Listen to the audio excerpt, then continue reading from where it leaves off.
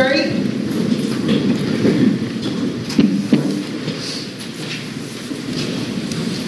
Please be seated. The record will show the presence of the jury, the defendant, and all counsel. Dr. DeMarte, you are still under oath. Do you understand? Yes. You may continue with cross-examination. Thank you, Your Honor. Good morning, Dr. DeMarte.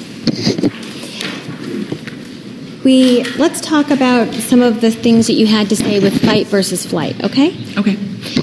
Uh, you told us that when a person is in a fight versus flight episode, that it's a physiological response, right? There is a physiological response that occurs.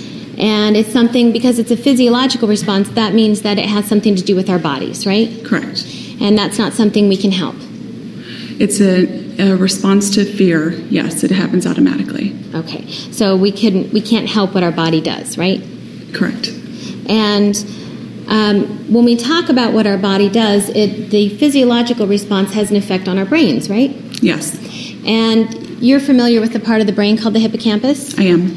And part of what the hippocampus does is deal we, dealing with short term memories, right? I wouldn't use those words. Okay, what would you use? What the hippocampus does is it encodes information from the short term memory to long term memory. As I described it before, I think about it as a hallway. Okay. And so the short term memories are in the hippocampus, and at some point they have to be encoded to the other parts of the brain to make form long term memories, right? Correct. Okay. And so during this fight versus flight type of response, the hippocampus, there's, there's neurotransmitters that are released in our brains, right? Correct. And those neurotransmitters are things like adrena- adrenaline, Yes. norepinephrine, Yes. and is it dopamine is the other one? Dopamine, cortisol is also released. Okay. And so all those things get released into our brain, right? When we get in, go into a fight or flight situation. Yes. And what happens is is it then floods the hippocampus, doesn't it? Yes. Those neurotransmitters. Yes. right? And so when the hippocampus is flooded with those neurotransmitters, uh, it ultimately causes a problem with it uh, forming or keeping those short term memories to be able to encode them to other parts of the brain, doesn't it? There's some interference. Some interference. Okay, meaning that there, ca- it causes a problem with taking those short term memories and encoding them into long term memories, right? Yes, it can cause some problems. Right. So, in other words, these short term memories um, are not going to always get into our long term memory, right? Not all of them. Okay. Uh, and sometimes not any of them during this period of time, right? That's not typical. It happens, doesn't it? That's not typical. I understand that you're saying it's not typical, but it happens, right? Anything's possible, but it's not probable. Okay. So, um, what you're saying then is that when the hippocampus is flooded, sometimes it can have some of the memories and sometimes it may not. Usually there's some memory that's there. Okay. And there's some memory you're saying that then can be encoded for long term memories, Yes. Despite all the neurotransmitters that have flooded the hippocampus. Right. It causes interference. Right. Okay. So when a person goes into this fight or flight response, um, their the higher brain activity starts to uh, is affected, isn't it? Are you referring to executive functions? Yes. Yes. Okay. And and that's on purpose, isn't it? That's the way we're created. Can you restate that question in a different way? No, I mean it's that's the way that the brain is meant to work, right? What's the way that the brain's meant to work? The executive functions are limited so that we can go into survival mode. So, if I understand your question, you're saying in a fight or flight mode, the reason why they go into a limited ability is so that we can survive. Is that what you're asking? Yeah, I mean it goes to survival. It helps us survive, right? So we can so that basically we go into a specific type of mode so that that way the only focus of the body and the brain is to survive. Yes, that is correct. Okay. And just because some of the executive functions of our brains are shut down, it doesn't make a person into a walking idiot, right? That's correct. Uh, they're able to function, aren't they? Depends on how you're defining function. Well, they're able to continue walking around, Yes, gross motor movement is continued to be seen. all right? And they're able to defend themselves, aren't they? And what do you mean by defend themselves? Survive. They're able to survive if it's successful. Yes. They're able to do that, right?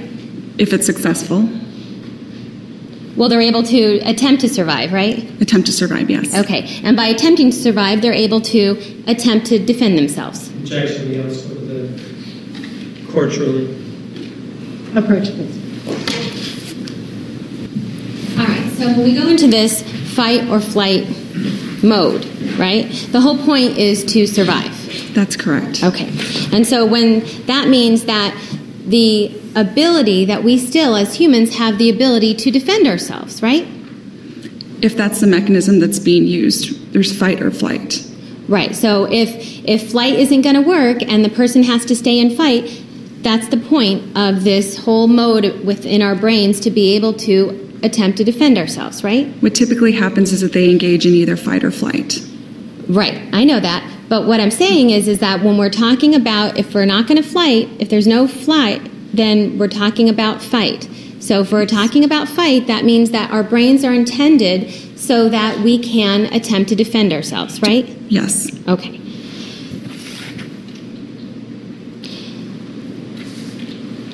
When the hippocampus gets flooded with these neurotransmitters, um, at some point, these neurotransmitters are going to recede from the brain and kind of t- go to go away after a while, right? Go back to normal levels. Yes. And when that happens, the hippocampus, you're not telling us that the hippocampus is destroyed, right? When they go back to normal? Yeah, once the neurotransmitters kind of recede and your brain starts to function in a normal sense again, the hippocampus is generally still intact, right? What I explained before was that if there's prolonged exposure that you can see damage, but typically when the when it does drop to normative levels, you don't see continued damage. Okay, so in, on direct, you talked about uh, seeing atrophy, right? Yes. And so you're saying that when the hippocampus is uh, under prolonged levels of these neurotransmitters, then you start to see atrophy? That it's possible to see atrophy. And is that something that happens a lot? No. Okay. And uh, when the hippocampus atrophies, that's when people tend to have long term memory problems, right? That's when they have difficulty through the encoding process, taking new information and encoding it into long term memory. All right. And when you talk about atrophy, that's something that we see in, in diseases like, um, um, well, diseases that cause memory issues, like Alzheimer's, right? That's one area. Okay. And with atrophy, though, I know that you, you noted on direct that you didn't notice any type of atrophy issues with Miss Arias's hippocampus, right? You didn't see any evidence of that? I certainly did not examine her hippocampus. I don't have the ability to do that. What I said was that I don't did not see any continued memory problems that would be suggestive of an atrophied hippocampus. All right. So you're not suggesting that her hippocampus was somehow atrophied, right? Right, I, I did not examine her hippocampus. And when the hippocampus is flooded with these neurotransmitters and these short term memories then aren't encoded into the long term memory, that's not something that these memories are ever going to come back, right? Because they were never encoded. There may be some memories that will never come back. I'm speaking specifically of memories, short term memories, that never get encoded to long term memories. So if they're never encoded, there's nothing there to, for the person to retrieve. Don't you agree? I understood your question. Do you agree with that? Some then? of those memories, yes, I agree with that. You're saying some of those memories. What I'm asking though is that if we have a group of memories, for the sake of argument, let's label them A, B, and C. A, B, and C get into the hippocampus as short term memories. The hippocampus is then flooded with neurotransmitters. A, B, and C memories don't get encoded to the brain as long term memories. Right? Are you understanding so far? I think you're using different language than I am. You're using an all or nothing, and I'm saying that there's interference that occurs. I'm not using all or nothing. I'm specifically speaking of, of specific memories, labeling them A, B, and C. If they are not encoded into long term memory, we're not going to ever get the memories of A, B, and C back, right? Right, if those memories were not encoded, correct? Okay, all right. Now, you talked about uh, Miss Arias deleting photos, right? Yes. But you certainly didn't watch the testimony in this trial, right? No. And so you don't have any information about who deleted these photos, right? Right. Well, it was in the police records. You think it was in the police records that Miss Arias deleted the photos? Well, that there was photos that were deleted. Right. But on direct, you talked about the photos that were deleted by Miss Arias. I'm asking you, where did that information come from? What I just highlighted that uh, on the police records that there were photos that were deleted. Yes, but in the police records, it doesn't say that Miss Arias deleted the photos, does it? Her specifically, I don't recall. Okay. So on direct, then you're assuming that Miss Arias deleted the photos? Yes, Okay, so it's just an assumption on your part. based on the evidence that I had, the records that I had, But there are no records that actually say she deleted the photos. just that the photos were deleted. Okay. And you don't know when these photos were deleted, right? They were deleted when they were found.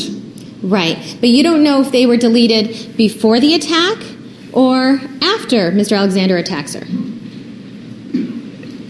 Objection um, assumes facts, not an evidence, i.e. Mr. Alexander attacked her. Those facts are in evidence. As to that objection, rephrase. You don't know when these photos were deleted, whether it was before Mr. Alexander jumped out of the shower at Miss Arias, right? Objection assumes facts, not an evidence. It- That he jumped out of her. It was testified to.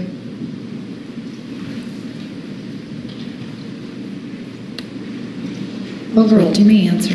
Can you ask that again? Sure. You don't know if these photos were deleted before Mr. Alexander got out of the shower and went after Miss Arias, right? Again, objection. We don't know if he went after her. That's her testimony.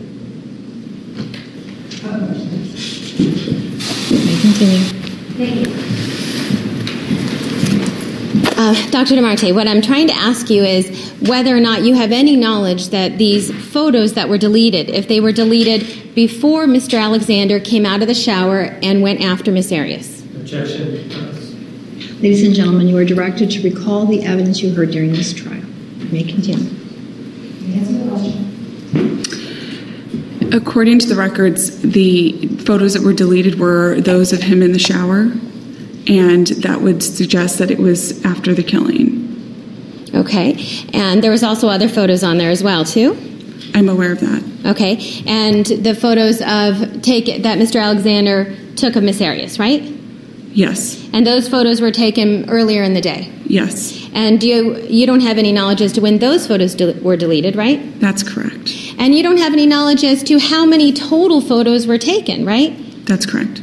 So you don't know which ones might have been taken and deleted and some were kept, right? Say that again. You don't know which photos would it might have been deleted before Mr. Alexander came out of the shower, uh, or whether or not they were deleted afterwards. Um, which ones were deleted, and then some might have been deleted and then retaken, more taken. Well, based on time, the photos of him in the shower were the last photos, and I know those were deleted. De- deleted upon uh, getting the camera, right? When police received the camera. Yes, And the photos.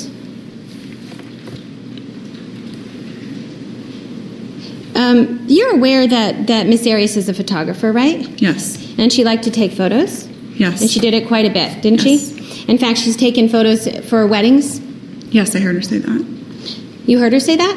in the uh, police uh, interrogation. Okay. And so then, so you know then that she is familiar with cameras, right? Yes, And would be familiar with digital cameras. Presumably. Okay, so somebody who's familiar with these things wouldn't be such a difficult thing to delete photos if they're familiar with the item, right? Objection, record foundation. Sustained. Okay, so let's. You were asked questions about organization and planning, right? Correct. And uh, you were asked these questions talking about after Mr. Alexander was killed, right? Correct. You talked about the fact that the scene seemed to be somewhat cleaned up. There was some cleaning, According to the police records. all right? And you saw the photos, didn't you? Yes, Uh, and you talked about the fact that um, that uh, there was no weapon at the scene, right? Found? correct. Okay. But in the photos, you can see that whatever cleaning that may or may not have been done, the person didn't do a good job, right? Objection, lack of foundation. Rule 702, 703. It doesn't take an expert. Approach, approach.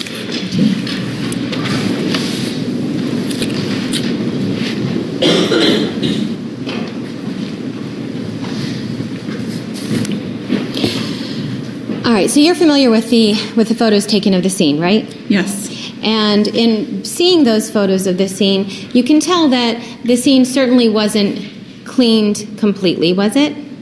It was not cleaned completely. Okay. And there was a lot of uh, evidence or blood left at the scene, wasn't there? The photos that I saw was that there was a lot of blood on the carpet. Mm-hmm. I saw that, and I saw that there was some blood on the sink, and I saw that there was very little blood surrounding Mr. Alexander In the shower. in the shower. Okay. Uh, but there was blood on the bathroom floor and th- things of that nature, right? The photos that I saw were again the sink and the carpet. Okay. So you didn't see all the photos then? I don't I don't know how to answer that question because I don't know if there's others. Okay. So you don't know if you saw them all, is what you're saying? I just told you the ones I saw. Okay. So you saw three? Um, I saw several of Mr. Alexander. Okay, all right. And when we're talking about um, executive function versus lower function, when we're talking about the brain, right? When we're talking about being in fight or flight mode, okay? Okay. We, we talk about we talk about um, that the executive function such shuts down, Yes. right? So when the executive function shuts down, you already told me that the person doesn't mean that the person is like a walking idiot, right? They're able to have gross motor skills. That's correct. Okay, and that would uh, mean somebody who is familiar with doing certain things would be able to do them still, right? If it's something that they do frequently, yes. Okay, and so, uh, and so when we're talking then about somebody who's familiar with using a camera, deleting photos uh, would be something. If they do that frequently, then that would be something that they would be able to do, right? That's different from choosing photos to delete. Which photos to delete? Well, okay, so now, well, what if they were all deleted? If they're familiar with that camera, then it's possible that it would be considered a gross motor movement. Okay. And then that would be something that someone can do in fight or flight, right? If they going back to deleting every photo on there, Yes. it's possible. Okay.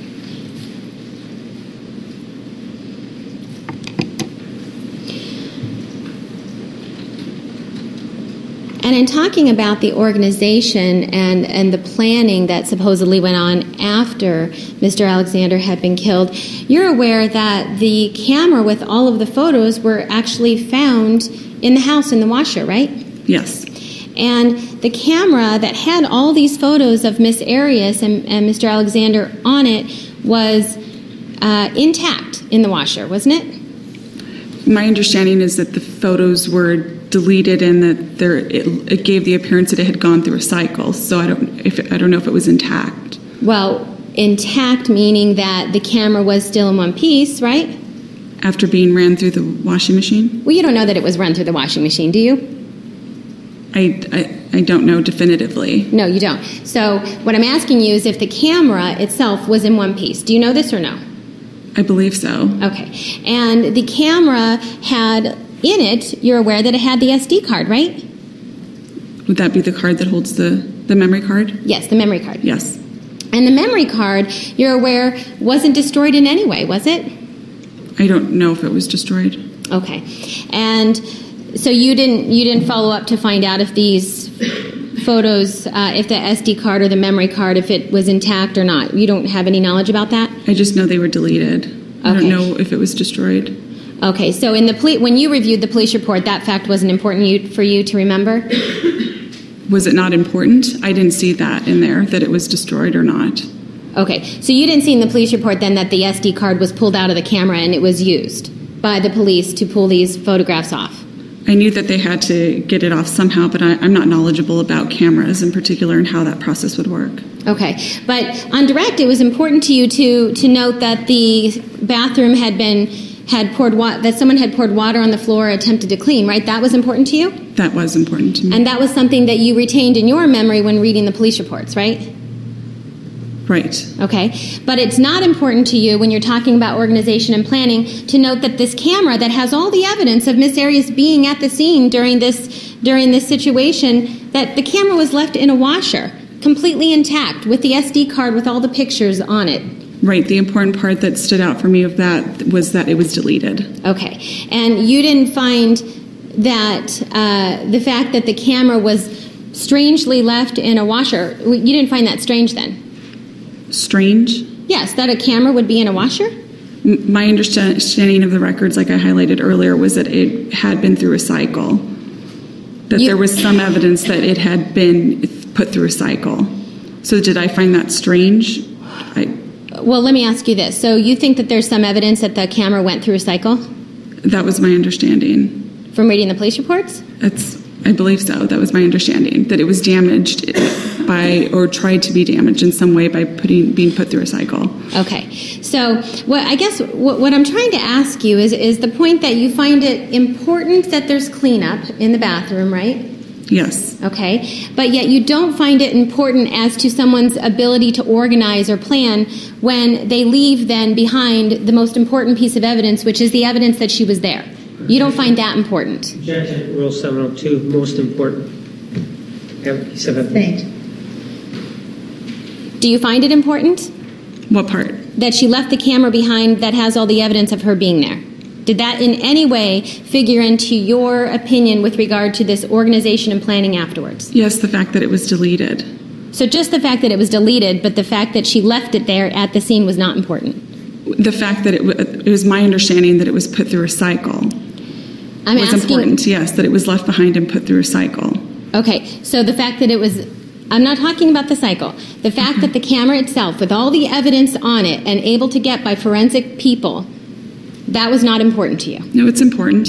So you considered that then in this organization and planning, that all the evidence was left behind, Yes, I would consider that part of organization and planning, leaving evidence behind for someone to find. and then putting it through a cycle.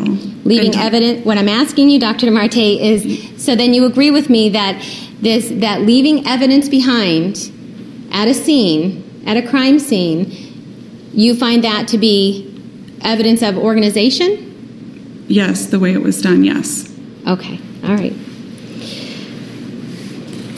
Because when somebody leaves evidence of themselves being being there at a crime scene, that's evidence of organization to you, right? Because there was deleting that occurred. Okay, all right.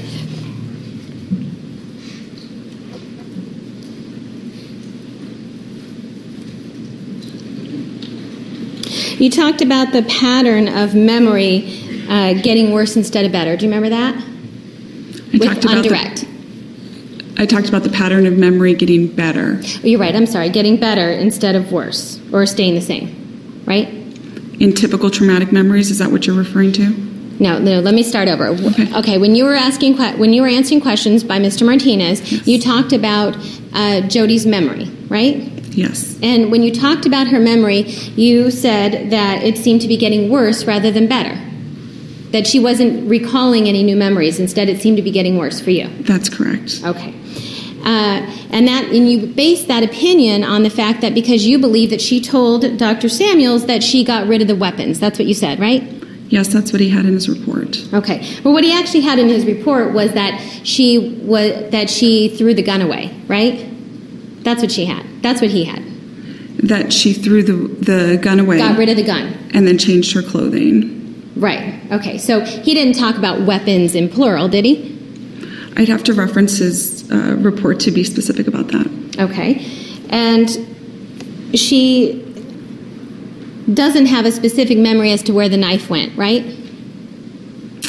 She told me that she had a vague memory. The vague memory of putting it in a dishwasher, right? That's correct. But she also told you that she doesn't know if that's a real memory or if that's something that she's remembering from before, like some other time, right? That's how she described it. Okay. And to you, it was important that uh, this information was told to Dr. Samuels, you think, before she spoke to you, right? Yes. And so, in other words, you think that she had more information uh, before she, when she spoke to Dr. Samuels, and less information when she talked to you. Yes. Okay.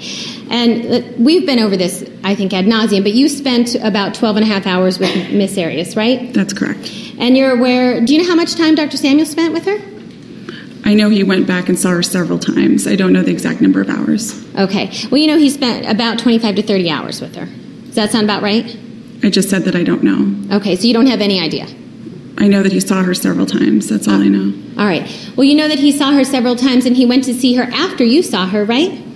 The date on his report, the, where it says conclusion of the evaluation, was prior to when I saw her. Okay. So you're not aware of the fact that he went to see her after that report to talk about new information that was received. That's a recommendation, new information. Okay, can you answer? The report that I had, that's where the information was already included in. When um, I did see that he added an addendum later on, but it was a separate piece of paper. What I'm referring to was the actual report where he put the conclusion date on there, which was prior to when I saw him. Okay, so you're not talking about the addendum then? No, I'm not talking about the addendum. Okay, because there was an addendum, you know that he went back to see her again, right? Yes. And you'd agree that he spent more time talking to Miss Arias than you did, right? According to the hours that you just gave me, if those are accurate, then the answer would be yes. All right. And so uh, it's certainly conceivable, given the amount of time that he spent with her versus the time that you spent with her, she might have given him more information, right? She had long. Is that right? If they spent more hours together, then then yes, he would have collected more information. You also testified that you found it unbelievable that uh, when Jodi is driving towards Hoover Dam and she realizes that she has blood on her hands. Do you remember talking about that? I do remember talking about that. Okay, and you said that you found it unbelievable that when she saw that she had blood on her hands, she knew something bad had happened, right? No, that's not what I said. Well, but you and she's told you that, right? That she knew something bad had happened, That she had killed him. right? And and knowing that something bad had happened, right? That would fall under the category of something bad. Okay, and that based on uh, you find it to be unbelievable that she would not know that she, that she would make that statement that um, that she thought she had killed him, right? You find that to be unbelievable. Uh, per her report that she had no memory of what happened, I find that unbelievable. Okay, but also per her same report that she told you, the, her last memories were after she shot him, right? Yes, So she remembers shooting him, shooting Mr. Alexander, right? yes, And she remembers him coming after her as she's shooting, right? yes, And she remembers that after she shoots him, he falls on top of her, right? yes, And she remembers that she had to roll away from him, right? yes, And she remembers that she had to run down the hall. yes, And that she remembers that she's running away from him. yes, And she remembers the last thing that he tells her is, I'm going to fucking kill you, bitch. Right? as he was running after her. Yes. Yes, Okay. So, given all the things that she does remember up until that point, it's not a huge leap to think that something bad had happened when blood is on her hands, right? you're using different words now. No, I'm just asking you, generally speaking. It's not a huge leap to assume that something bad happened when she sees blood's on her hand. It's a What- hu- it, I disagree. So, you think that that's not a logical leap then? I agree that that's not a logical leap. Okay, so. All right, so it's not logical then to assume that something bad had happened when you know that you just shot somebody and you know he was coming after you and you know that you were terrified, and then hours later you see blood on your hands. You're using the word something bad that happened, and I'm referring to the fact that she said, I knew I killed him. I, I know, but I'm not talking about that right now. I'm just asking you the simple question of whether or not it's a logical leap for someone to assume something bad happened after we have all this, this, these facts going on. If you're, recommendation assumption. Approach. May I continue. All right, Dr. DeMarte, let, I just I want to make sure that I'm clear with this question, okay? All right. So I'm not speaking about anything that Miss Arias told you, okay? Do you understand that? so it's hypothetical? Sure, let's do it as a hypothetical if that helps, okay? Okay. Okay. So, for someone to look down at their hands and see blood on them, okay? Knowing that just before that, they were in a situation where they had to shoot somebody, that somebody was coming after them, and that that somebody was threatening their life, okay? In that situation, it's not a huge leap, is it, for that person to say something bad might have happened? Sure, looking at that broad category that's not related to this case, yes, I could see that. So you can agree with not- me on that. That it wouldn't be a broad leap to see blood and say something bad happened. Okay, so you can agree with me on that then, right? Yes. Okay, so now let's take it one step further. Knowing that Miss Arias had to just was just in a situation where she had to shoot Mr. Alexander, where he fell on top of her, where he came after her, where she was terrified and she was fearful for her own life. And then seeing blood on her hands, understanding that it's not her blood. You think that that's not really a huge leap, is it, to think that she might have killed him? Judge foundation, not knowing it was her own blood. Sustained. Whether it's her own blood or not, it's not a huge leap, is it, to say that I might have killed him, knowing that everything that just happened, everything that she remembers about just happening. As I've stated before, it is a huge leap. Okay, and that's a huge leap for you. That's what your personal opinion, isn't it? That is my opinion. Okay, it's your personal opinion, right? It's my opinion as a psychologist. so I understand it's your opinion as a psychologist, but but it's an opinion that you yourself made, right?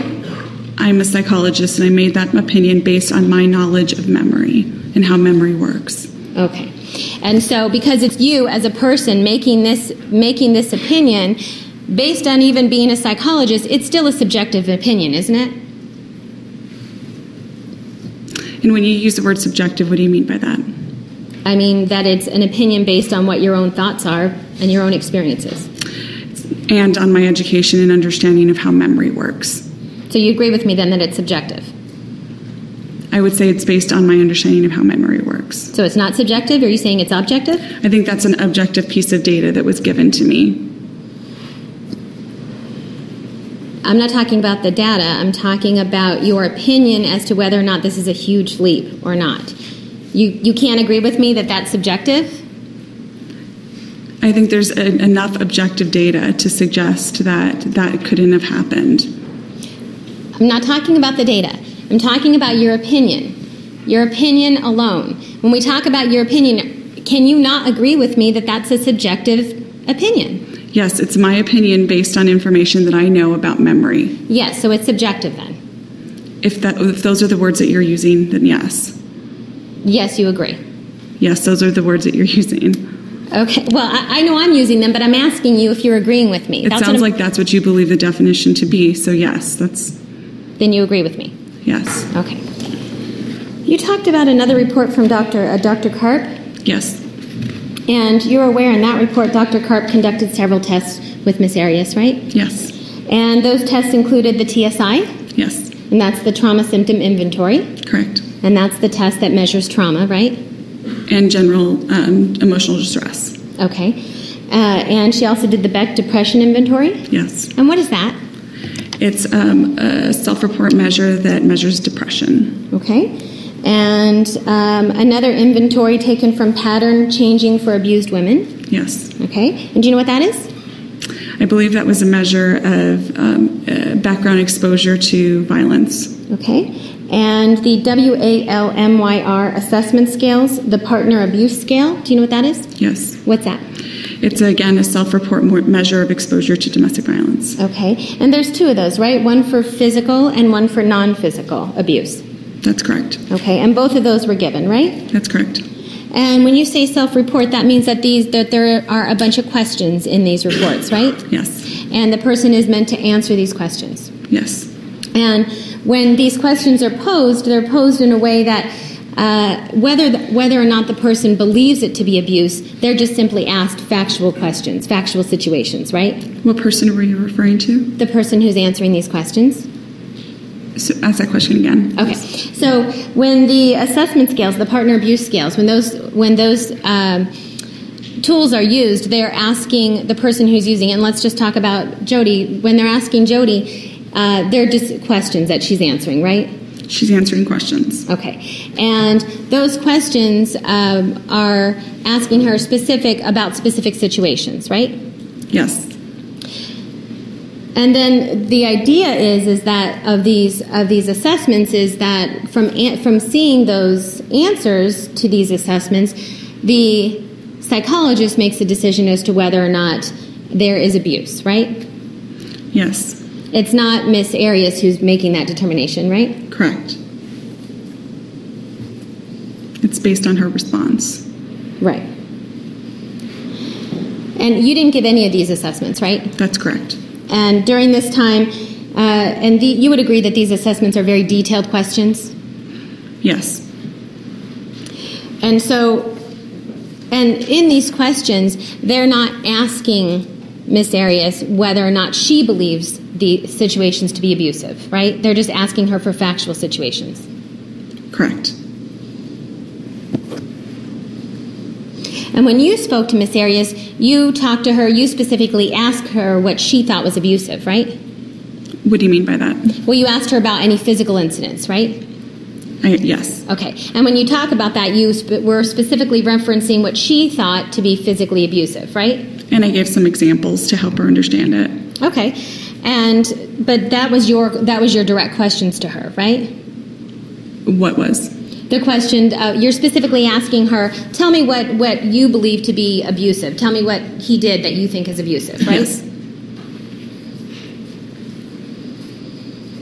And I think yesterday we established that you agree that battered women often minimize details, don't they? They do.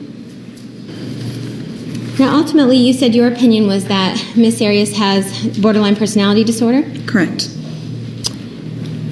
And borderline personality disorder is something that uh, is, if, if you're going to diagnose that, you need to see evidence of that from a very young age, right? You need to see evidence of that sometime before the age of 18. Okay. And so, uh, so would it be enough if you see the evidence at age 17 and nothing before that? You usually see a pattern, as I described before, the pattern of personality tends to start developing relatively young, and you may see an escalation of those symptoms over time. Okay, so when you say relatively young, what do you mean? Again, personality starts developing in the toddler years and starts to um, become more solidified as they get older. Okay. And so when you're looking for patterns with relation to borderline personality, you would expect to see them, you said sometime before 18, but really, wouldn't you expect to see them long before 18? Usually, start seeing um, at the point when they start becoming maladaptive is older than that. Usually, start to see it more in their teenage years. Okay. And, uh, and what you want to see is you want to see a pattern of it, right? Not just one incident. That's correct.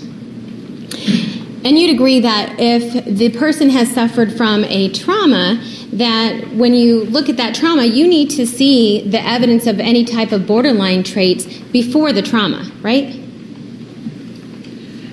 When you're talking about trauma in adulthood, or you're talking about trauma in childhood.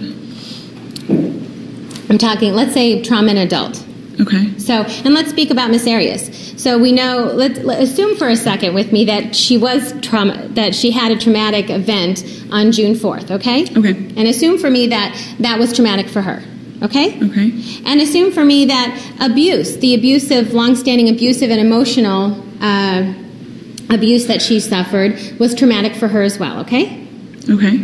And so, if a person who you are diagnosing with borderline personality uh, has a traumatic event or traumatic events, you want to see evidence of borderline prior to the traumatic event.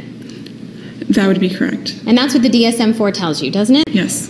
And in fact, you want to see clear evidence of this pattern before any traumatic events, Yes. right? Okay. All right, so on direct, you talked about the different criteria for borderlining, right? Yes.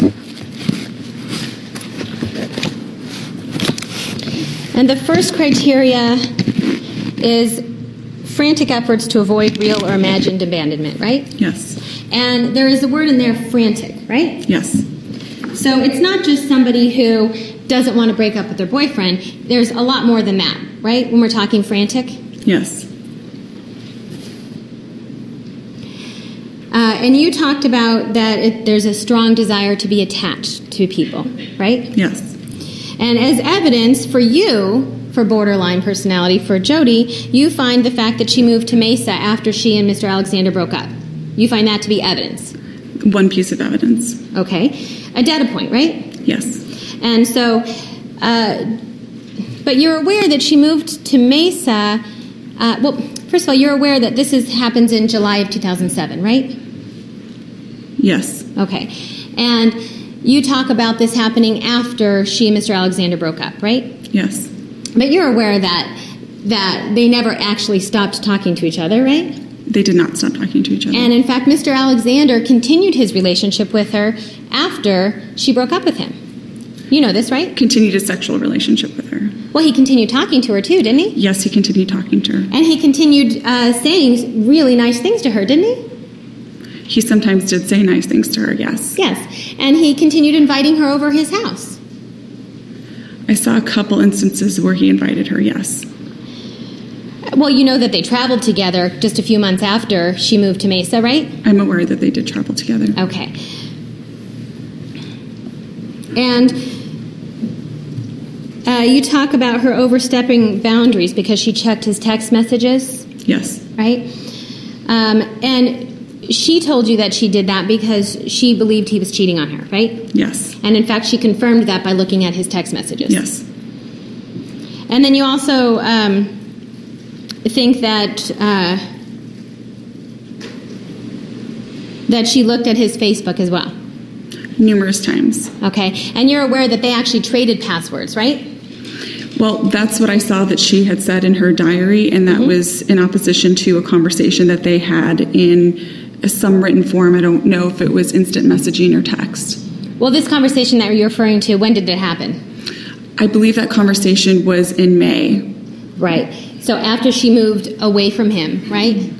That would be the time frame after. Right. And the conversation that you're referring to is when they both stopped, uh, that they both changed their passwords, so neither one of them can look at each other's Facebooks anymore, right? Or MySpace. I don't know when that happened, but what I do know is that he indicated that she continued to look at her his Facebook account without his authorization. And you think that, and that's coming directly from Mr. Alexander's mouth? Yes. Well, not directly from his mouth. It's coming from written forms. Written form, but something that he's supposedly typing, right? Not supposedly. I saw it. Yes. Okay. Well, you weren't there when he typed it, is what I'm saying. Yes, I was not there. Okay.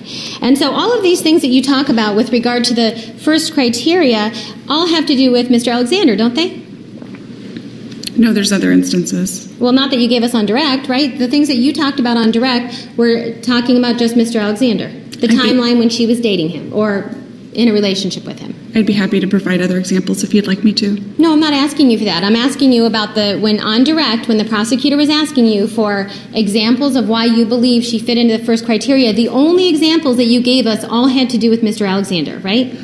I don't recall exactly if that's all the examples I gave because I have several other examples.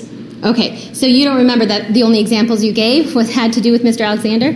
It sounds like that's the case if that's what you're telling me, but that's not what I, I don't remember if that's the case. I have numerous other examples if you'd like me to give them to you. No, no, I just want to talk about what, what you talked to the prosecutor about. Okay. Um, the second one, the second one is a pattern, a pattern of unstable and intense interpersonal relationships, right? Yes. Well, and actually, I'm sorry.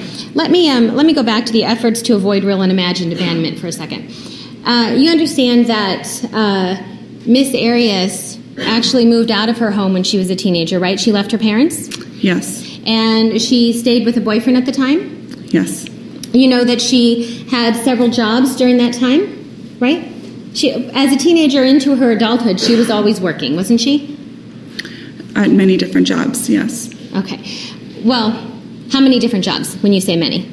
Um, she had told me that she had worked for several years in her father's restaurant, and that Yeah. she had also had it at the at a minimum of ten different restaurant jobs. She And told you that she had 10 different that she restaurant had. jobs? Yes, I believe that's the case. I can reference my notes if that would be helpful. Sure, if you have them. Sure. And you don't have to. Sure. This is my whole notes that have been disclosed already. Okay. Just so you know. Do you want me to mark the whole thing, or did you want to pull them out? Sure, you can mark the whole thing, and then I can have that back. I was correct in what I said. That she told you 10 jobs. At a minimum, yes. Okay, and did, she, Amongst many other jobs. and did so she had 10 restaurant jobs and more than that as well? 10, I'm referring to restaurant jobs, yes. Okay. And And more as well, of different types of jobs. different types of jobs be try, be, be, besides restaurant jobs? That's correct. What were these? She indicated that one was being a spa receptionist. Okay. She also indicated that um, at one point she was a caretaker, I believe, of a child. Okay. When was that? Let me see if I could find that in my Sure. notes. And can you tell us the, what the number is? I'm sorry, I didn't ask you. The, on the green tag for your notes? On the back. 630. Okay, so you're referring to Exhibit 630. November 2007 to January of 2008, she was a caretaker for a young boy. Okay. All right. So, so for a year, she was a caretaker for this little boy? Um, it doesn't appear that that's a year. What'd you say, 2000? November 2007 to January of 2008. Oh, okay. All right. So, Uh, when you talk about this effort of uh, frantic effort to avoid real or imagined abandonment, you talk about it as being terrifying to be separated, right? Yes. Okay. Uh, and all right, and the second, uh, the second criteria you have is a pattern of unstable and intense interpersonal relationships, right? Correct. And you you characterize that as a strong tendency to go from boyfriend to boyfriend, right? For Miss Arias. I characterize that. Are you talking about the symptom in general or how it specifically at- applies to her? How it applies to her. That was one example. Okay, so the fact that she had four boyfriends from the time that she was 14 up until now, that you characterize as going from boyfriend to boyfriend? That was also coming from uh, her childhood friend who also made that exact same comment. So that in combination to having these boyfriends back to back. Uh, her childhood friend who who made a comment that she went from boyfriend to boyfriend. Yes. Okay, and her childhood friend isn't a psychologist like you, right? No, I was just highlighting another data point. Okay, so it's this is something you're talking in a psychological, clinical evaluation type way, right? Right. Okay, and so you, as a psychologist, consider her going from boyfriend to boyfriend because she had four boyfriends from the time she was 14. Uh, back to back. Back to back. Okay. So the fact that she was uh, with, let's say, Mr. Brewer for a total of four years, that is doesn't characterize any stability for you.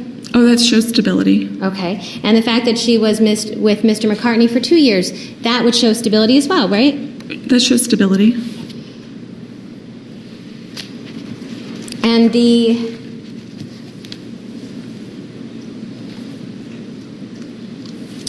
the third one you talk about the third criteria being identity disturbance, right? Yes. And that's markedly and persistently unstable self-image, right? Self concept, yes. Self image. Self-image. Okay. And for that, your evidence was the fact that she joined the Mormon church quickly, right? That was one. That was one of your data points that you used. Yes. Uh, and you're aware that when she joined the Mormon church, it was just two months after she met Mr. Alexander, right? Yes. So again, we're talking about a time period of Mr. Alexander. Yes. And it was, you're aware that after she met Mr. Alexander, within a week, he was sending Mormon missionaries to her house, right? No. Oh, you didn't know that? No. Oh, okay. And then, then did you not know that these Mormon missionaries came to her house once a week until she converted? No. You weren't aware of that? No. You didn't get that in your 12 hours? I didn't get that in my 12 hours. Okay. And the fifth one you talked about as recurrent suicidal behavior, gestures, or threats, right? Correct. And that also includes self mutilating behavior. Correct. All right. And there's no self mutilating behavior, right? None that I'm aware of. And you know of no actual threats she ever made to anybody to commit suicide, right? Prior to this traumatic event? Let's say prior to June 4th. I need a second to think about that. Sure. When you say actual threats, there was, um, I would consider this a threat. There were um, comments in her diary. And at that, that time, those comments in her diary, she didn't actually give a plan that she was going to kill herself, right? A specific plan, no. Okay. So what she was actually any references to her diary prior to this to meeting Mr. Alexander, we're talking about that she had low self-image, right? That it wasn't worth her being alive, something to that effect. You're attaching low self image with suicide. I wouldn't do that. I would say that there were numerous comments um, beginning as early as 1995 of repeated suicidal mention of suicide and desire to commit suicide.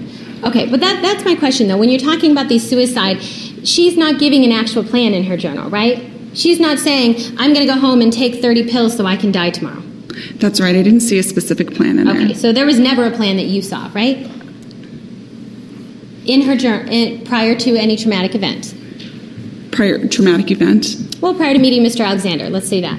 Okay. I don't believe I saw a specific plan. Okay, and uh, to the other thing about uh, this suicide ideation is that you never saw any um, actual threats. We were talking about that. Now, you would consider it a threat because she writes it down in her own journal, right?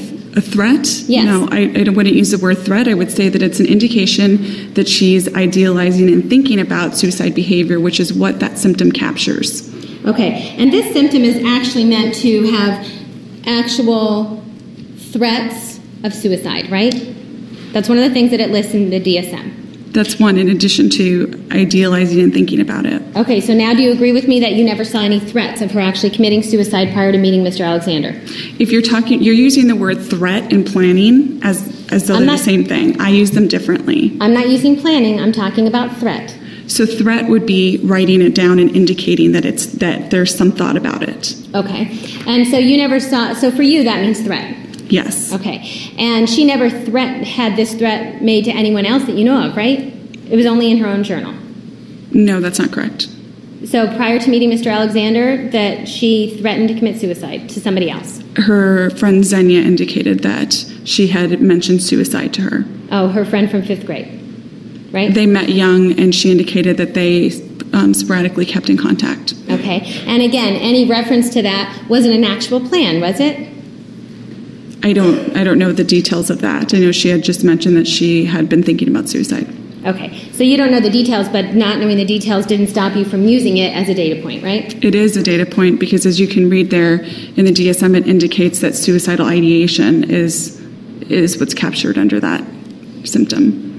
What I'm tell- what I'm asking you is that then you didn't go and ask to interview this Zana person, right? To ask her specifically what she meant by any comments about suicide.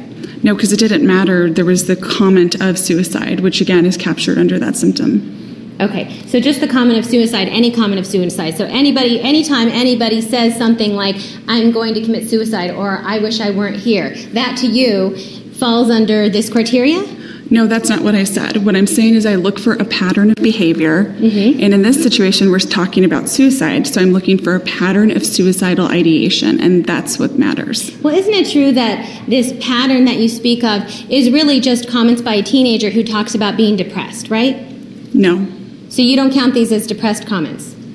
You're, you're meshing two different things together again that suicide specifically has to do with depression. Suicidal behavior can be seen in a number of different disorders, as evidenced with Miss Arias, who has borderline personality disorder. What I'm asking you is that when somebody talks about wishing they weren't here anymore or that their life isn't worth living, you don't see that as evidence of depression either? I'm saying that yes, you can see that in depression amongst other disorders. All right. How many comments is it that you that you saw?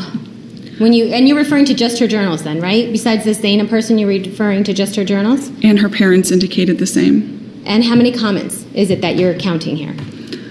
I didn't count them. Okay, so more than one? Oh, yes. Okay. More than 10? Are we talking back since 1995? Yes. I don't think that it, I I can't give a specific number. I think it would be misleading to give a specific number. So you just know more than one. More than, definitely more than one, several, for it to be a pattern. I would never consider something a pattern if I just saw it one time. Okay, so several then. Yes, All right. Several from 1995. yes, You talked about the um, sixth one, the affective instability due to a marked reactivity of mood, right? correct.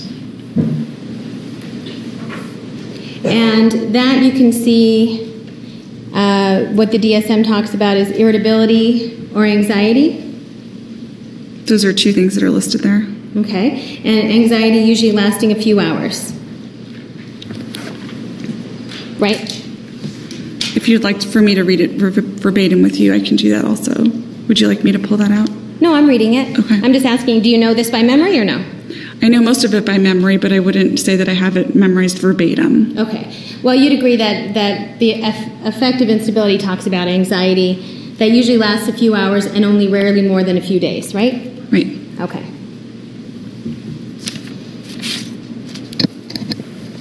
And for this, you're, you're saying one of the examples that you used was that in her journals, right? In her journal entries, you would see that she would appear happy on one side of her journal, um, and on the on the same day or the next day, even she would be sad, right? That was one data point. Okay. And you're aware that you, you talked about the law of attraction, right? On direct, a I little I said bit. that I was aware of it. Okay, and you are aware, and you can see evidence that that Jodi really paid a lot of attention to the law of attraction in her journals, right? Yes. And this was specific to uh, 2006 and on, right? I don't know the specific date, but I did see it in there numerous times. Okay. And the law of attraction, when she would speak of it, she would speak very positively, right? About her life and all the things that she was thankful for. Yes. Okay. And then she would talk. Uh, sometimes, then, that when she would speak negatively, she would speak about things about Mr. Alexander, right? Sometimes, yes. Okay, and she would talk about how Mr. Alexander that it was upsetting to her that he would have harsh and critical words for her, right? I believe I saw one comment related to that. Okay, and that would that would uh, that created a sad type mood in her journal, didn't it? When she would talk about these things. I don't know that that was specifically related to him. No. You don't know if the harsh, critical words were related to Mr. Alexander? I don't know the exact journal entry you're referring to. Would you like to show that to me? No, I'm asking you. Do you not remember it? You just told me you did. No, what I said is that I remember in her journal seeing the change from happy to sad. Okay. I don't know if it was specifically related to anything to do with Mr. Alexander. But you don't have any specific examples of those dates in her journal, right? I don't have those. No. Okay. And the chronic feelings of emptiness. What does that mean for the DSM? It's described as a person having a sense of just being empty inside, that there's nothing inside of them. Uh, you're using empty twice. So tell me what it, nothing inside. What does that mean? Is that depression? Describe it for us. The feeling of just being empty. It's a common it's a common descriptor that we see in patients who have that sense that they say inside I just feel like I don't have anything there. Okay. Um, and you're saying that she told you this. She did. And uh, you, of course, spoke to her after uh, she's been charged with murder, right? Yes. And you, of course, spoke to her after she had to kill Mr. Alexander. Right. She calls her conclusion, had to kill. approach.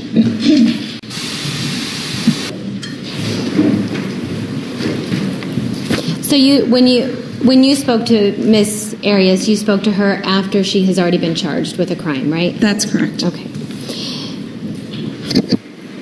And the other one that you have is inappropriate intense anger or difficulty controlling anger, right? Yes. And in the DSM, it says, as an example, frequent displays of temper, constant anger, recurrent physical fights, right? Right. Uh, you don't have any evidence of recurrent physical fights, do you? No, just a, not recurrent physical fights, just the time that she had kicked her mom. Okay. Um, I'm asking you whether or not you have any evidence of constant anger. Internal anger, yes. Okay. And you get that evidence from where? Um, her family members who had indicated that this is, is something that they had seen in her um, throughout most of her life. Most of her life? Yes. Okay, but you're referring to, and, and I know you just wanted to throw out there the, the when she kicked her mom. That's something that happened when she was a teenager, right? She was younger, yes. Yes, and that's something that happened when she was arguing with her mom, right? I believe so. And you know that she was, I'm, I need to retract that. Okay, you don't know when it happened? No, that there was, if I remember correctly, there was an indication that her mother had made a, a kind, neutral comment to her, and the response was negative. Okay, that's, that's what your information is? I believe so, yes. Okay, so then I guess are you aware that the fact that that the time then when uh, Miss Arias was a teenager, that her mother would argue with her back, right? Do you know this? Would what? Her mother would argue with her. Yes, there, she indicated that there was a lot of arguing. Okay, and that her mother would hit her. Yes, that's what she reported to me. But the only thing that you want to take into account is that Miss Arias hit her back. No, that's right? not the only thing I want to take into account. Well, you're using that as a data point, right?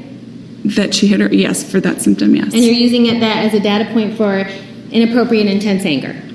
As one data point, yes. Okay. And also, it talks about frequent displays of temper. You don't have that, do you? Do I have that? You don't have that as a data point for, for Jodi, frequent displays of temper? Yes, that she, people would describe her as being irritable and upset. Okay.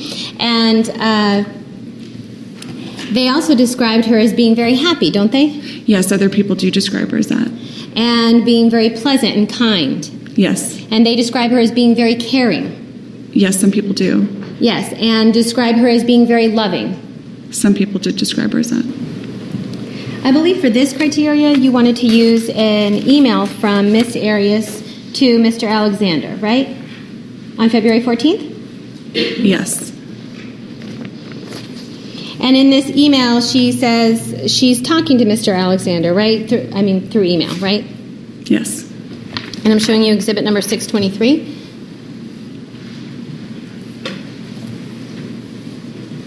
Uh, and she's telling, she writes to Travis that she's sorry that the last few days have been frustrating for him, right? Yes. And she wishes that she can give him more consolation. Yes. And she says that she was at a loss for words. Right? Yes. And that she's a little bit intimidated. Not necessarily because of his anger, but he, she wasn't sure how he would react to her trying to comfort him, right? Yes. So she's talking about how she's trying to comfort him. Yes, she was. And she says that uh, she compares it to her own experiences, that sometimes she doesn't want to hear it, and she just wants to yell and scream and vent, right? Yes. And then she puts in quote in uh, parentheses, yes, I do, on very rare occasions, right? Yes.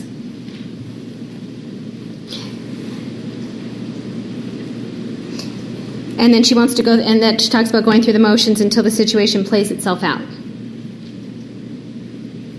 Right? I'm still reading. Oh, okay. Yes. And she talks about needing comforting sometimes. Yes. And she talks about how her heart filled with compassion for Travis. Yes, she did. Okay. And when you were talking to the prosecutor about this email, you didn't go through any of this part, right? I had read that. Right. Not with the prosecutor on direct, right? You didn't tell the jury about it. Correct. We read the second paragraph. Okay. And it's clear from the first paragraph that apparently there is something there was something going on prior to February 14th between Mr. That that Mr. Alexander was upset about, right? Yes. Because she's talking about his anger. About him being frustrated. Right, and and that and his anger too, right? Because of how angry you were. Yes. And then she goes on to talk about to kind of pump him up, doesn't she? When she says that after she hung up with him that she continued to cry for a few minutes. Do you see that? Yes, I do. Um, and so she's talking about how she was crying after she hangs up with Mr. Alexander. Yes. And that she was feeling miserable and hopeless. And then suddenly she thought of him and she knew that um, she stopped crying and she began to feel wonderful, right? Is that what the rest of that says? Yes. Do you need to read it? Go ahead.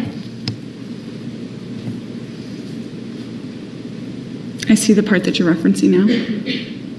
And she talks about how lucky she is to have him in her uh, in her life, right? Yes. And so saying this to somebody it would make them feel good, wouldn't it? They're kind words. Yeah. And so she's saying kind words to him, isn't she? Yes. And she talks uh, about the future and how, um, talking about today's, she's specifically referencing today's lesson has been difficult and was not fun, but the general idea is that once we learn the lessons, that we don't repeat them anymore, right? She's talking in a very positive manner with him, isn't she? Yes. and that she uh, and that she hopes that he feels better and to remember that no matter how ugly it gets that she's just a phone call away right Yes. when you went through this email with the prosecutor on direct you didn't tell the jury any of the other kind words that miss arias had to say right Right. and knowing that you were going to use this email as a data point in your diagnosis to borderline um, you didn't talk to Jodi about it right Did I talk to her about? about the email No. You never asked her what she specifically meant when she talks. What the part that you use is that she says that she's never beaten anybody up, but she her anger, she's kicked holes in walls and kicked down doors and smashed windows, right? Right. And knowing that you were going to use this as a data point, as you say, you never talked to her about it, right? I don't believe I'd read it at that point. Okay, so you never went back and talked to her about it. No, I didn't go back. You never asked to clarify. Well, what did you mean by this, Jodi? How often did this happen? You didn't ask her those questions. No. And you didn't ask her then Uh, so you have no idea if what she says in this paragraph is true or not, right? Just like with everything else, it's just another data point. Okay. But it's a data point that you used to form a criteria or an opinion about borderline personality, right? Not independently. You used it to form one of the things to form your opinion about borderline personality, right? As one of the pieces of information, yes, I did.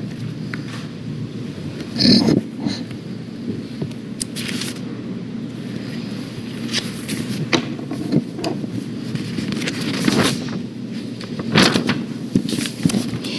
right. You conducted uh, uh, the MMPI, right? Yes. Can you tell us what that is? It's a self report measure. Um, it, there's a 567 questions, true or false. It captures personality traits and general psychopathology.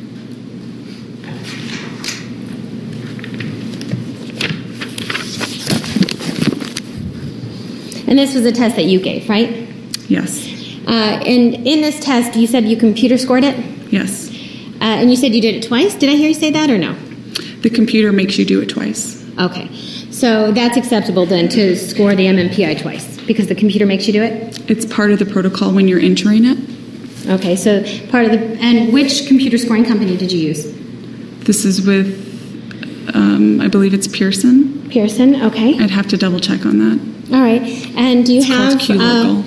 I'm sorry. I'm sorry, it's called Q Local is the name of it. Okay, and do you have your um, the computer pr- uh, when you put it into the computer and, and it scores it, it spits you out something like graphs and charts, things like that, right? Yes, T scores. And do you have that with you? I do. Can you take those out, please? Sure. And I'm looking for all the scales, because you, you said you did all of the scales, right? Not just uh, not just the validity and clinical. Right. Ladies and gentlemen, please be back in the jury room at 11:15, and we will start promptly at that time. Please remember the admonition. Please stand for the jury. Please be seated.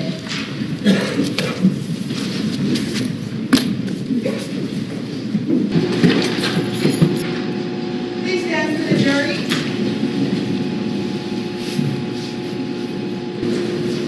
Please be seated. The record will show the presence of the jury, the defendant, and all counsel. Ms. Willmott, you may continue.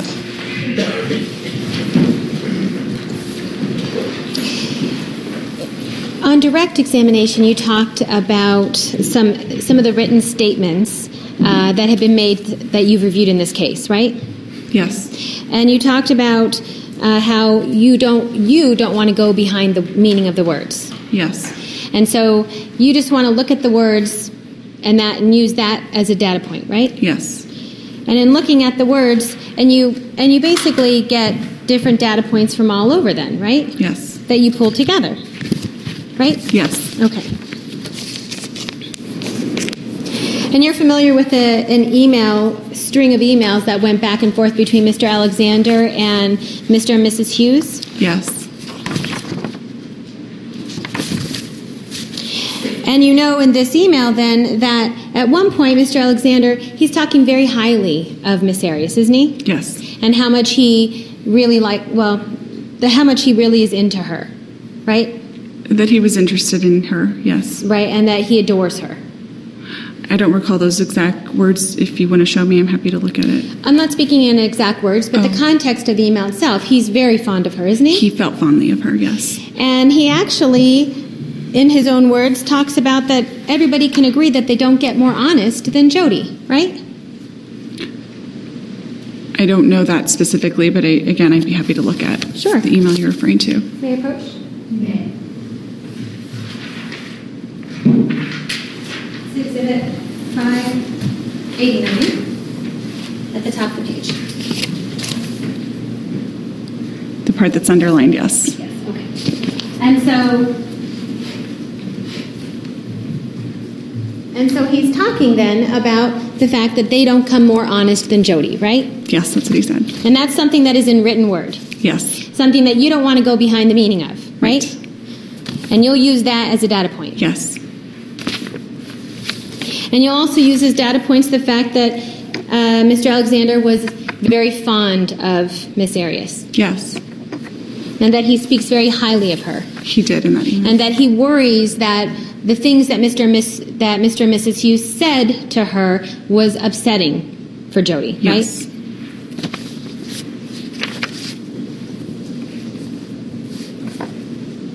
And when we go down the road to May 26th of 2008, you're familiar with an a uh, instant messaging, right? Instant messaging between uh, Mr. Uh, Mr. Alexander and Miss Arias. There were there were several different ones. Which one are you referring to? May 26th. I don't know that exact date. Okay, like but you reviewed all these instant messages, Yes, right? yes. Okay. And part of your review of the instant messages, you also reviewed the text messages. Yes. And in reviewing those things, you you would agree that there were times when Mr. Alexander was quite upset with Jodi, right? Yes. And he showed his anger with Jodi in his text messages, didn't he? Yes. And he called her all kinds of names. He called her names. Yes. And do you know what character assassination is? Yes. And isn't that when names become actually so severe that it cuts down the person's own character, their own being? I think that would be one definition. Yes. Okay. And you'd agree that a lot of these names that he was calling her was actually character assassination, wasn't it? They were harsh names. Yes. And you wouldn't consider that to be okay. No, that's not okay. And in fact, that was abusive, wasn't it? Abuse implies that it's a pattern of behavior. I would say that that behavior was certainly inappropriate and not a healthy communication style. Okay. But you don't consider it abusive. I would say again, the word abuse implies a pattern of behavior. Well, let's not, we can talk about patterns in a second, but the word, I'm talking about the word abuse. So you mean that unless it's repeated, this one particular instant wouldn't be considered abusive to you? If we define abuse as a misuse of something, No, Dr. Just a misuse, yes. Hold on a second. What I'm asking you is this one particular instant, on May 26th, let's say, when Mr. Alexander, as you've agreed, was calling her names consistent Yes. with character assassination, you would you wouldn't agree that that's abusive. I'm trying to explain to you what I mean.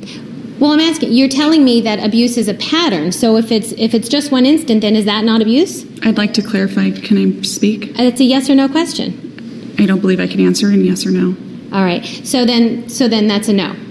No, I just said I can't answer you in yes or no. All right. So then let's talk about patterns. You want to talk about patterns, and and when we talk about abuse, you want to look for more than one instance of it, right?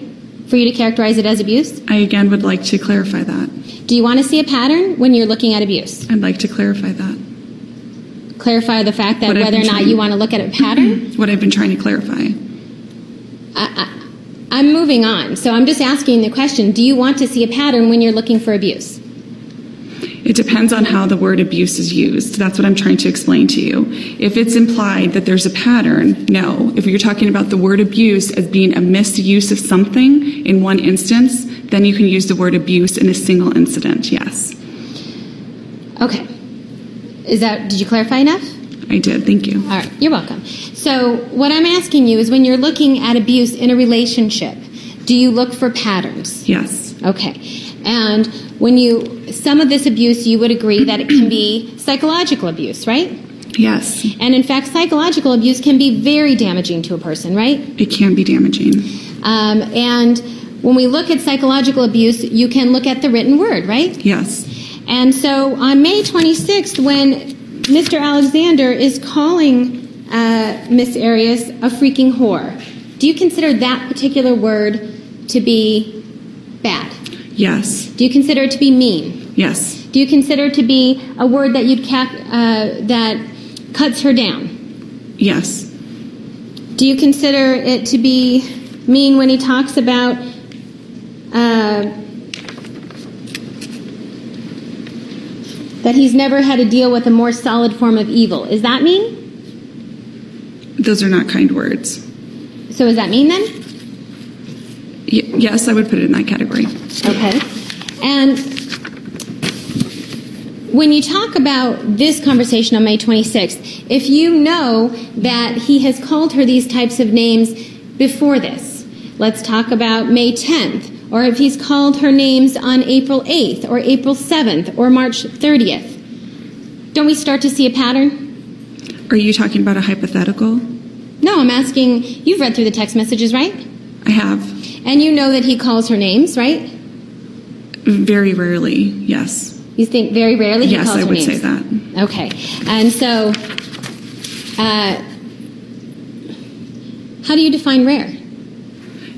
I would say that it happened periodically. The pattern that I saw that it was in response to him feeling like she was being intrusive or had crossed a boundary, um, and he was putting up very firm boundaries. That's not what I'm asking you. I'm talking about rare. So rare is once or twice or more.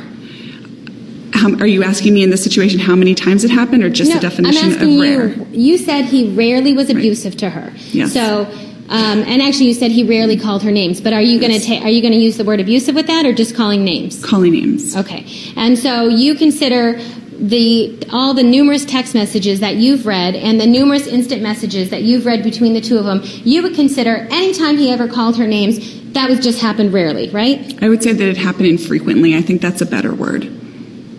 Frequently? Infrequently. Oh, infrequently. Better than rarely.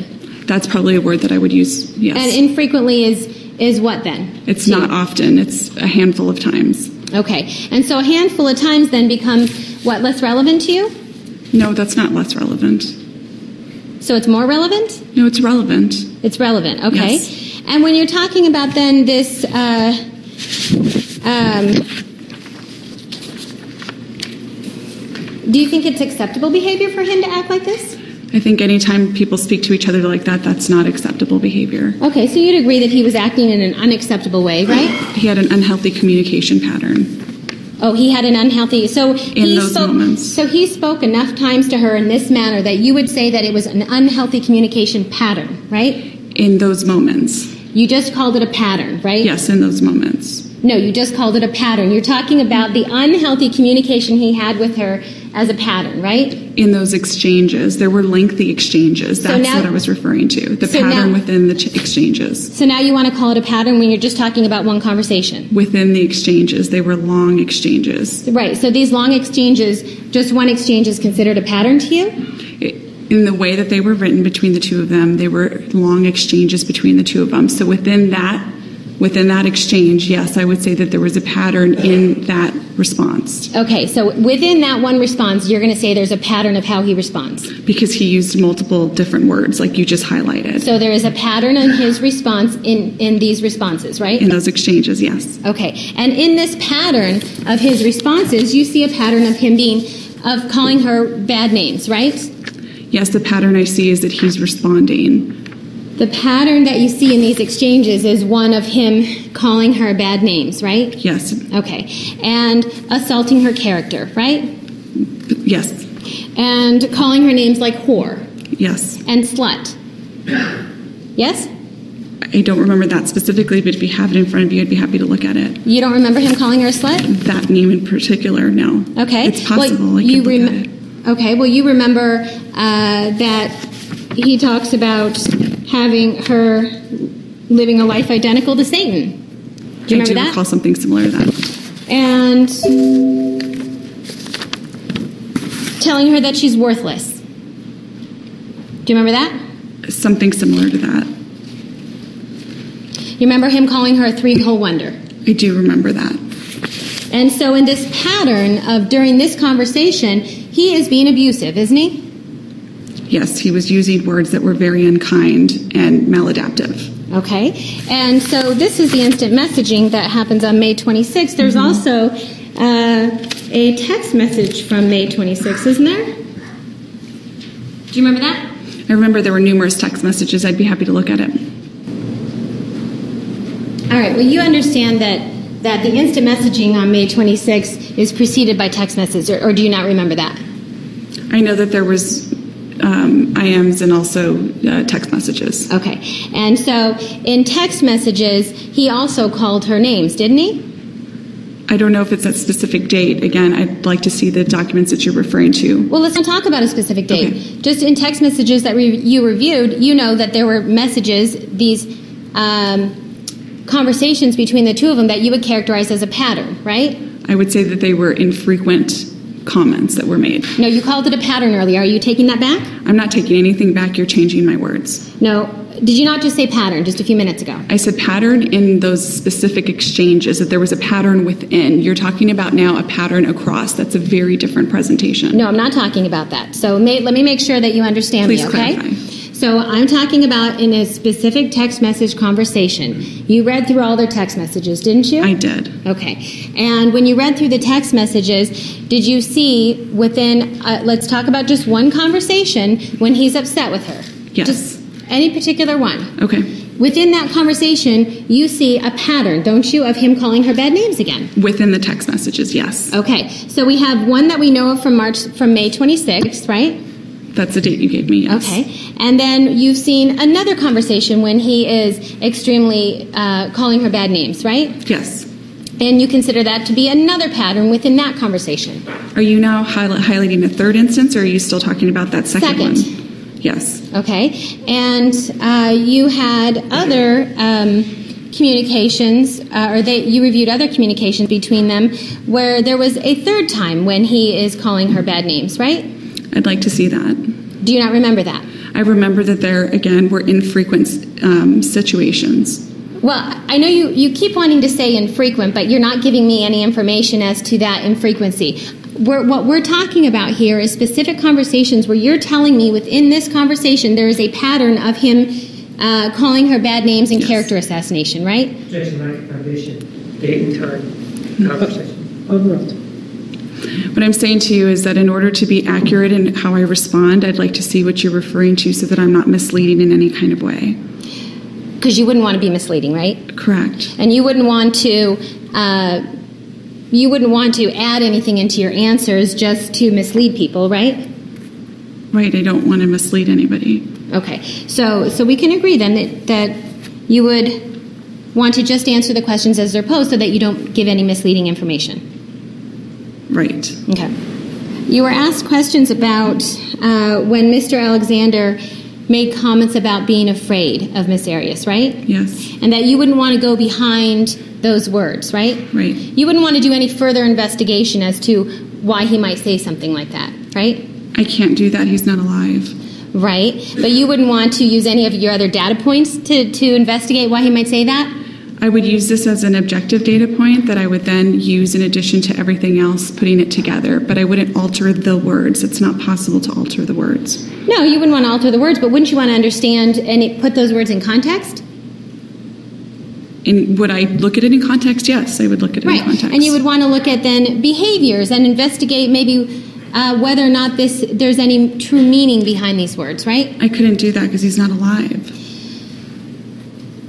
You um, so when somebody's not alive, you can't get any information from them. Is that what you mean? From them directly, that's correct because they're not alive. So you can't make any type of you can't make any type of um, do any type of an evaluation as to anything that he says in written word because you can't look at other data points with regard to Mr. Alexander. No, you, you- um, what I was referring to is what we started talking about was going behind the word and getting more information about those words in particular. That's what I was speaking about. Right. And so to try and go to try and get put meaning to that word, what I'm saying is, is that you don't want to look at any other data points that relate to what he's saying in these words, right? I would absolutely look at other data points, but I wouldn't change the actual wording. I wouldn't be able to go behind it, but I'd be able to have other data points that I would then integrate. Right. So May, may approach very quickly? Yes. This time, please be back in the designated area at 1:25. Please remember the admonition, you are excused. Please stand for the jury.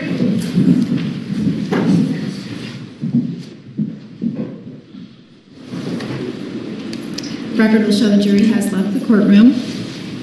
Counsel, anything before the noon recess? No, thank you. We are at recess.